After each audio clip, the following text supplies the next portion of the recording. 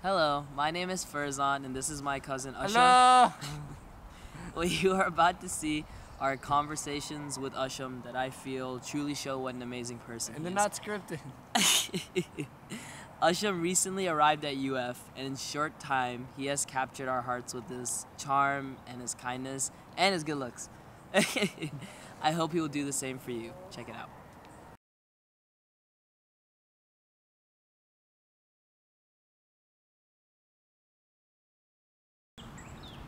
You know, Asham, I think the thing that speaks most about you, to me at least, is that, you know, when we first made the football team, you found out about it, and your response is just like, oh, true. and like famous Asham voice. Oh, true. exactly, like that. And, you know, we made the football team, we get to the first game of the season, we're all pumped up, and I felt so bad at halftime because we were so excited, and we were down by like three or four scores or something, right? Six, seven. Six, seven scores. Something. We were losing 15. a lot. Fifteen, great. Uh, that's a stretch. You know, we, we weren't that bad. and you know, you got everyone together. You brought everyone together at halftime, and you just said to them, you know, it's just football, guys. You know, let's just have some fun. You know, give me the ball a little bit. I'll make some plays. And you know, I just think that's iconic Asham.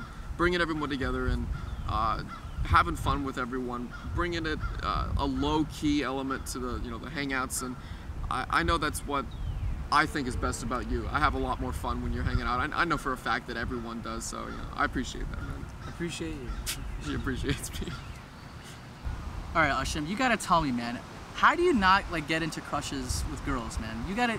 Remember you were telling me about your friend Mana a few weeks back, how she's one of your best friends, and you've gotten to know her a lot over the past few years.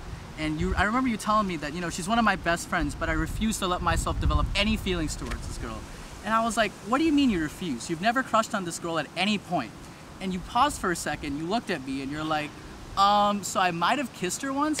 And I was like, Asham, how does that happen, man? You just said you don't want to develop any feelings towards this girl, but you kiss her? Sometimes things just happen. What do you mean things just happen bro? What were you thinking? But you know, when I when I think of that story and I, and I think about you as a person, I realize that you're the type of guy who just goes with the flow. You're not phased by anything, and you know, you're never really about the worry about the results of anything that you do. And I realize that's a great way to approach. That's a great approach to life, and that's a valuable lesson that you've taught me, man. You know, I've only gotten to know you a, lo- uh, for practically like the last half of the semester, but you know, you become one of my best friends, and I really treasure you, man. You're awesome. Asham, you know, you know what I love most about you? Your happy apatheticness. I like. I mean, just this week, you lost your house keys, you lost your glasses, which you found, but still, and you spent countless number of days with me filming under the hot sun. Yet you, you maintain this goofy smile that always makes me laugh like I'm a kid again. It's incredible how you do it, dude. It's incredible how you laugh back at life's problems like they don't exist.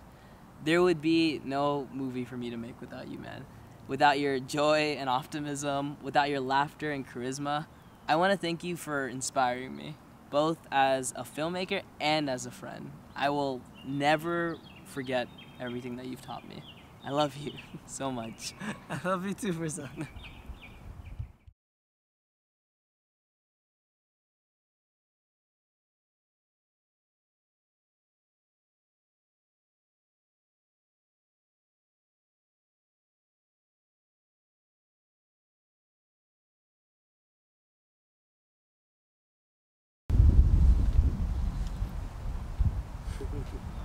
Are you still filming? That's a wrap. thank you so much. Are we done?